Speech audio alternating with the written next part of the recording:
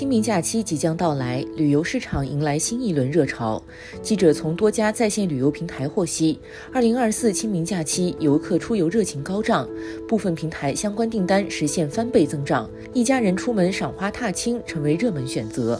清明假期正值踏青赏花的好时节，在众多赏花热门目的地当中，扬州、兴化、婺源、无锡。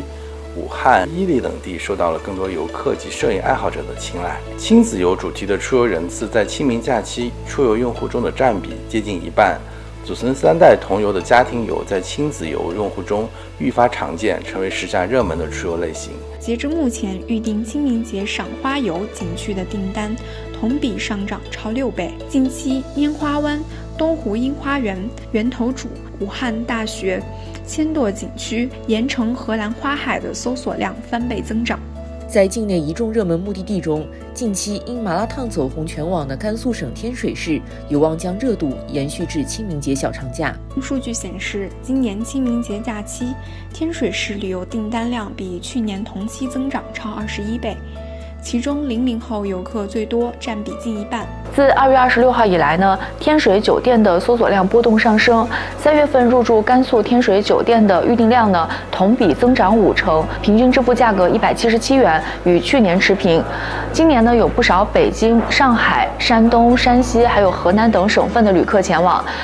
由于清明小长假时间较短，一些年轻消费者通过拼假的方式获得更充裕的旅行时间，让出境游市场持续升温。此外，清明也是返乡祭扫与亲人团聚的节日。随着入境政策放宽和国际航班恢复，不少华人旅客选择在清明节返乡祭祖旅游。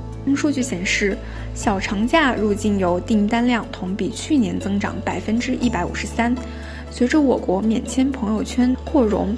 瑞士、匈牙利、奥地利等新免签六国入境游订单同比增长百分之三百五十九，已经有不少旅客呢规划了请三休八的出境游。此时呢正值日本、韩国的樱花季，像日本的金泽、熊本、长野，韩国的光州、泉州、仁川等小众赏樱目的地，也有旅客提前预定了赏樱酒店。此外，像希腊的雅典、意大利米兰，还有瑞士的苏黎世、法国巴黎等目的地的搜索量环比上周呢增长了五成以上，得到了长线游游客的青睐。